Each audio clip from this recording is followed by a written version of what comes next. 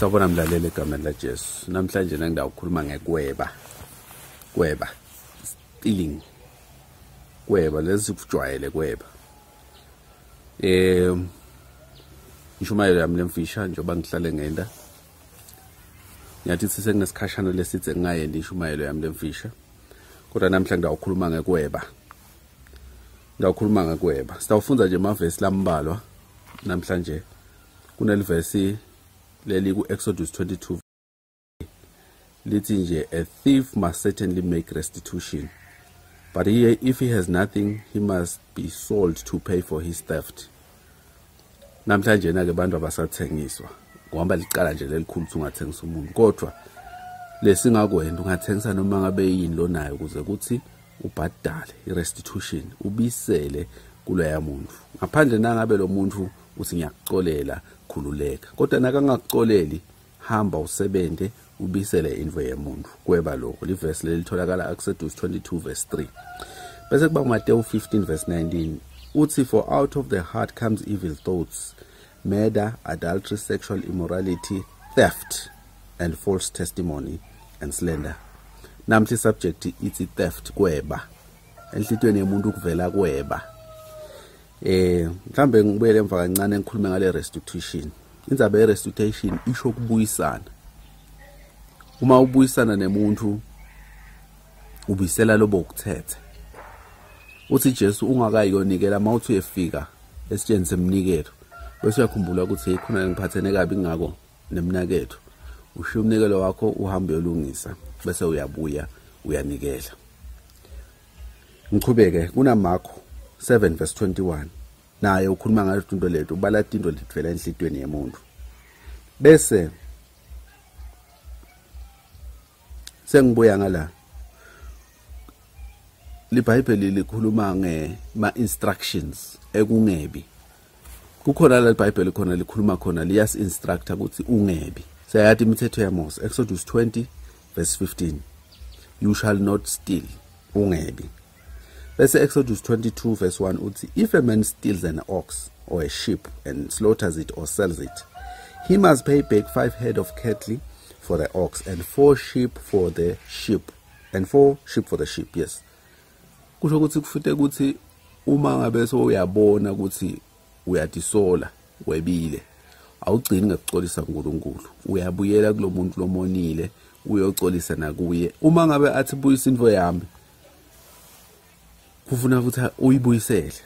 Makakholwa sibhekile ukuthi akungakucolela angahle akucolele uma kakholwa.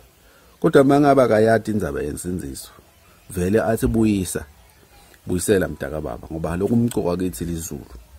Bese ithi Leviticus 19 verse 11 do not steal ungebi. Bese sephindze lithi do not lie. Namhla cha sikhuluma ngeke ukucambe manga sikhuluma ngekungebi ngekweba.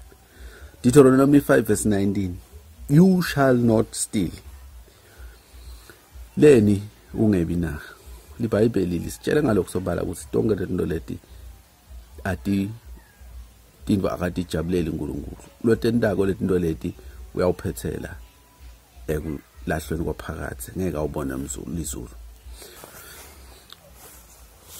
Yini ke tintfo lesingadeba yini tinto lesingadeba namhlanje ngiphethe nakho. Basikhuluma ngekwebo uyakubona lokhu? Ungakubona kukuncane. Kodwa umuntu nakakuthethe lokhu ngalokhu ngekho emthethweni webile. Ngalomi iminyaka ngiyahamba ngiya e-trade fair ngihamba nabantu babami. Ngiphetheke lokhu ngihle ngibanathisa sengifika enzaweni lapho khona kufuna bagibele emandini bagibele lokho gejana lokuncane ngibeka lokhu la phasi. Baningi bani bayaphithidela. Ngiyabona khona lo wakubona nje wakuthatha angibona ngibhekele. Lo mvulo yowebile icala kuye kusono kuye lokho ngike ngashumayela kulenye indzawo. Ngabekisa ngel grapes. Mawungena spa uyabona ama grapes nawa. Lelinye liphakethe uyalibona livuliwe. Uyadibuta kodwa lama grapes acidless noma wase seedless uthathe linye ulidle. Uthi oh okay acidless webile. Nekwakhona kufanele uye kulomnikati wesitolo umtshele ukuthi hey ngathi engigangile la bengifuna kuva ukuthi lama grapes acidless noma cha ngase ngidlalini manje iseedless angiyithandi so ngeke ngisayithenga. Ngoba uma ungakakwendi lokho kufana nekuthwebile material things kunenke lesingakubala ekwebeni into leti material imali nako konke lokho. Ngawuchubeka ngibukele enye into yesibili lesingayeba skats time. Uma ucashiwe ucashwe ngumqashi awusonke siyahluleka la. Siyadzinga kutimisela kuloko kunebulukhuni lobukhona la. Uma ucashwe ngumqashi uqashe kusukela ekuseni nga-8 uthi uyaphuma nga-half nga past 10 uya ku-break nga-11 uyangena uyaphuma nga-1 uya elanjini nga-2 uyangena uyaphuma nga-half past 5 kuyashiyana-ke tikhathi labanye bangena ebusuku labanye atifani njengoba ngishito. Kodwa uma ngabe kwendekile waba nesidingo sekuphuma kuleti khathi umcashi la kubhadalela ngato lethi ngoba leto tikhathi lo disayinele ukuthi umcashi utakubhadalela tona. Uma kwenteka uyaphuma bika. Uyabika noma uyacela. Ngoba kubika kwenta ukuthi umcashi wakho ungabika kumabhalane nangabe umphathi wakho anamabhalane uyabika ukuthi ngisacela kuphuma noma ke ngisaphuma ngicela ungitshele lo mphathi nangabe uyangifuna ukuthi ngiyaphuma ngithini nebudlelwane nemphathi wakho. Noma uyacela. Ukuthi mphathi nangabe umphathi wakho uyabona ukuthi ungumuntu lo lo critical kakhulu. Ngiyayikhuluma le ndzaba ukuthi hey mphathi nangabe ngifuna ukuthi ishwe nje ngike ngithi ngingenda njani? Ndathi mphathi cha phela nabu lo munye umphathi ngathi nangabe ujakile hamba masinyane ubuye. Kodwa still fanele ubike. Sikhathi. Sikhathi uyaseba nesikhathi saNkuluNkulu.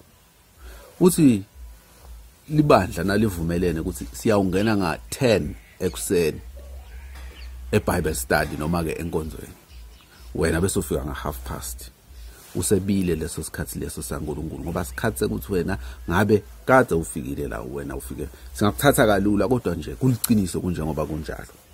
Ngiyedlula kambe esikhathini ngoba ukuthi ngiyedlula kanjalo esikhathini ukuthi ungaseba kanjani. Bese kuba ne-intellectual property ema-ideas ebantu. Umuntu ede ne-idea niyacoca nicoce nicoce usukhona ukuthi lokhu ngida ukwenda lokhu ukuthatha ukwende ungakakhulumi nalowo muntu lokuve ngaye. Kweba lokho ligama lakho. Uma ngabe intellectual property kulokunye uyafika ungena la ndlini yami noma uyafika endlini yesihlobo sakho uyabona oh udesignile lonkabi udesigne ifireplace yakhe mayinhle kanje kanje kanje kanje. Eh uyasuka wena awumbongeli nekumbongela awumtsheli nekumtshela ukuthi maye lokhu ngidawufisa kukwenta ingabe ngeke ukhubeke yini. Nako wena uyadumela uyahamba yenda lento ekhaya kakho webile ngoba ukwakhe ngendlela yakhe akusindlela le common.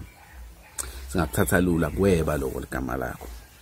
Kwekugcina le ngifuna ukukhuluma ngako lesivame kakhulu kukweba singanaki ngema soft products. Ma soft products labanengi kuweba umusic ema-soft products nati into lotithatha eh digitally. Tintfo lotithatha utfake kuflash tintfo lotidownloadako tintfo lotihambisa nge-youtube tintfo leti letihamba lati kuma-gadgets ethu. Kune-piracy yibona i-piracy? Weba loko ligama lakho thatha umuntu usowune-flash unetingoma leting-5 000 letingoma tilakuflash ufaka la rediyoni yakhe. Ahle adlala nje ahle adlala nje. Uwebile lo music ngoba usherishe nebangani bakhe akawuthengi lo music. Kweba lokho ligama lakho. Ema videos ema movies uya downloada ku internet wena ema movies amahala unless kubhaliwe ukuthi free. Then ke ukhululekile kukwenda lokho. Tincwadi bo ebooks niyasherisha niya downloada tincwadi kuthenga munye umuntu niyasherisha.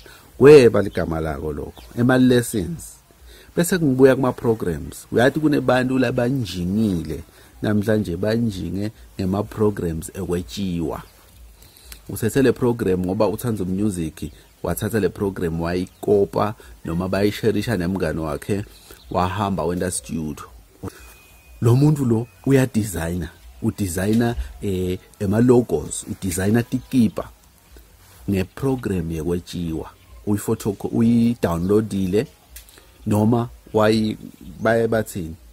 Noma wayeba somewhere wayithatha namhla uyimillionaire ngeprogram yekwetshiwa weba lokho ligama lakho.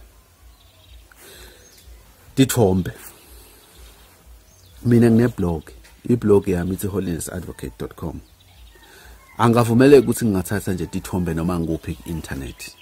Awu angivume ukuthi into letinye tato ngidifunze sengitifunza nami lethi ukuthi sekangitshela moya longcolo ukuthi oh angingabi spiritual.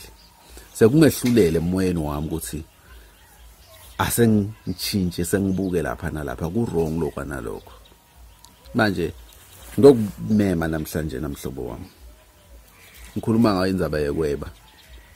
iBhayibheli liclear ukuthi labenda lokuphambene nenzando yaNkuluNkulu angeke balibonele izulu. Ngiyakumema namhla ukuthi nangabe njoba sifunzile la kukhona indlu lowayithatha kumuntu. Wayithatha ngalokungekho emthethweni.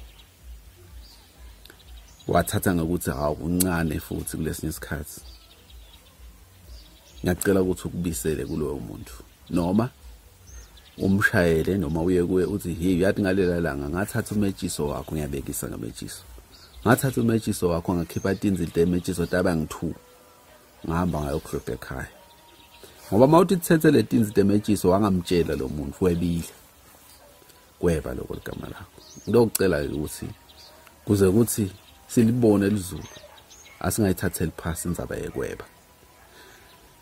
Kunenkulunkulu angakucacisa kuwe lengeke ngikhona nekukukhava ngoba nangakhuluma ngekweba kunengi kakhulu kweba lokukhona tinhlobo tekweba lesitithathela phasi kancane. Eh manje ke ngidawucela ukuthi sesithandaze. Eh ukhumbule ukuthi ema articles la kusitako la kukhumbutako ukuthi ugcine imiyalo yaNkuluNkulu atholakala ku holinessadvocate.com lapho ngibhale khona eh very soon ngidabe ngicelebrate ukuthi ngihlanganise 300 wama articles lengwabhalile la scriptural. Ngiyacela ukuthi sithandaze. Ngosina ngimbukeli sesikhulumile ngekweba namuhla. Ngiyacela ukuthi umsite asalwa nendzaba alungisa lapho khona ende kabi. Weba mhlambe wanganaki. Mkhumbude nkosi naletinye izinto letibhacile ngoba ngalelanga lokwehlulela tiyawuvetwa baleni letinto leti. Umuntu bese uyakhala uthi awungakhohlwa mkhumbude nkosi ngikhumbude nanami. Njoba ngike ngakhumbula nje ngaba nelist yetinto lekufuna ngitilungise ngalendzaba le ngicela ngisite nkosi umsite nalombukele egameni la Jesu Kristu. Amen.